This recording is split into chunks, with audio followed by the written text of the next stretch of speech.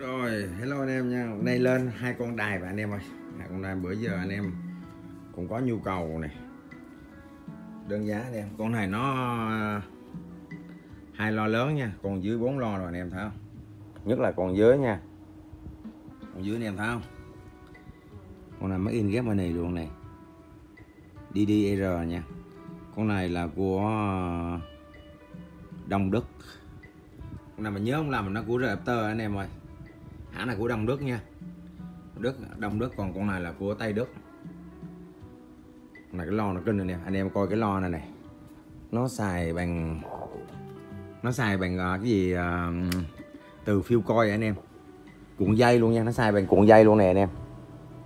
Có nghĩa là 500 nó là 500 điện nha anh em. Đây này thấy không? 500 điện em đó. Có nghĩa là nó có một cái nguồn này đi sau thì má má má anh em chơi đèn thì chắc nắm đúng không? Nó, nó có cái nguồn nuôi cho cái con này riêng này. Nuôi 500 này riêng. Rồi. Anh em cần thì zalo số này nha. Mình mình chụp và chi tiết mình gửi qua cho nha. Đây cái cái, cái, cái đèn này chắc đèn nén nguồn của nó nè em. Bự chà bá đúng không bóng này bóng trailer này. Quay sau trước nha anh em quay mặt sau nha. Tại vì ờ, ở sau nhìn nó hấp dẫn cái mặt thì bình thường con này hai hai cây L84 này nè thôi không? Được chưa? Này là chắc hai bóng rè hả? Đúng không?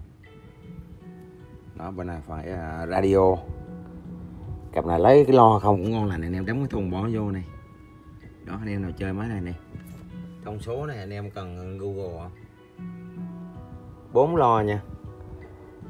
Con trên thì sai nó nhỏ hơn chút xíu nha. Con trên nó coi thêm mấy gan này trên 60 nha. Dưới chắc 65 rồi anh em ơi. Đúng rồi 65 65 67 nha.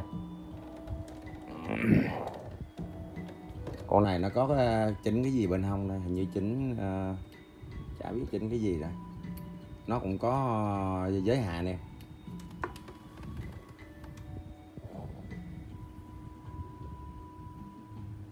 Còn dưới là hiệu Capri.